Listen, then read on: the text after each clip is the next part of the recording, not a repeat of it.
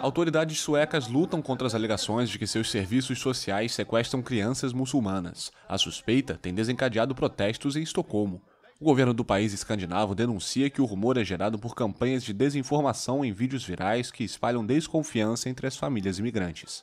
Dels grundades naturligtvis i föräldrar em parte, os boatos são baseados na frustração de pais que falharam na criação dos filhos e querem culpar ou projetar isso nas autoridades suecas. Mas também há forças malévolas que exploram a frustração desses pais para espalhar desconfiança e divisão na sociedade sueca.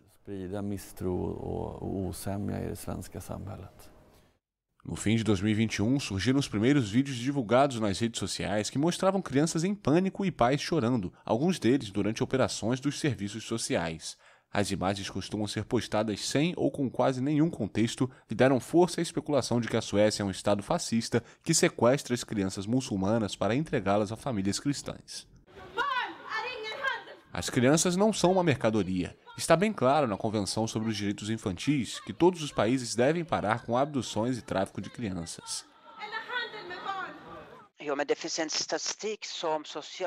Há estatísticas produzidas pelo Conselho Nacional de Saúde e Bem-Estar que mostram que filhos de pais nascidos no exterior têm duas vezes mais chances de serem resgatados pelo serviço social em comparação com os filhos de pais suecos.